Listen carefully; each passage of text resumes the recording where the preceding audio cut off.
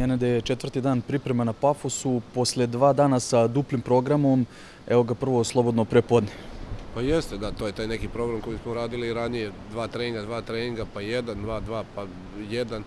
Ovaj, dobro, dobro radimo, spremamo se, znamo šta, šta nam je ostalo, polusezona, domaće prvenstvo, nama najbitnije i kup, tako da znamo zašto radimo. Stara baza, Pafos, već ste bili ovde, dobro vam je poznato, imate odlične uslove. Da li se promenilo nešto? Pa jeste vreme, nije nas dočekalo ovako vreme kao sad, bilo je stvarno katastrofa vreme, dva dana što se tiče kiše, vetra i svih tih stvari, evo danas je lepše, ali što se tiče uslova i svega, stvarno je teren savršen na kom treniramo i hotel je okej, tako da nemamo razlog da se budimo kao jedan od najiskusnijih u ekipi. Šta je ono što mlađima govorite? Pričali smo i sa njima.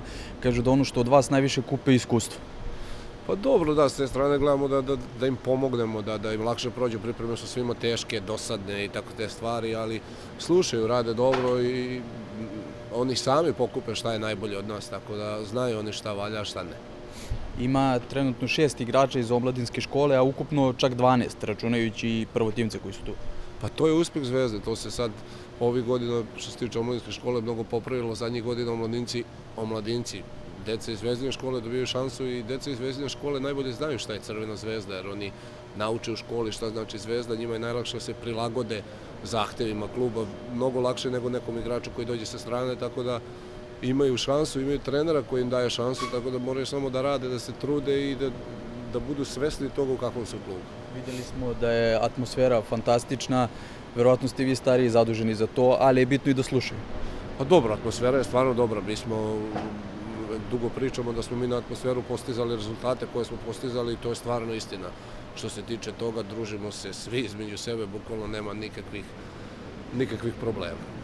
Ekipa nije mnogo promenjena u odnosu na jesenji deo kada je napravljena i bodovna zaliha. Otišli su Nenad Krstičić i Miloš Degenek, stigli su Milunović, Vulić. Pa jeste, da, otišao i Milić, nisi ga spomenuo, to je tri igrača. A, nama je svaki igrač bitan. Otišli su nam neki bitni igrači, ali došli su neki novi igrači da se bore, nije mnogo promenjeno, taj neki kostur tima je sačuvan, tako da mislim, nekad se promeni cijela ekipa pa igramo mnogo bolje. Nema, nema pravilo, bitno je samo da što pre ti novi shvate zahteve šefa i onda će svima biti lakše.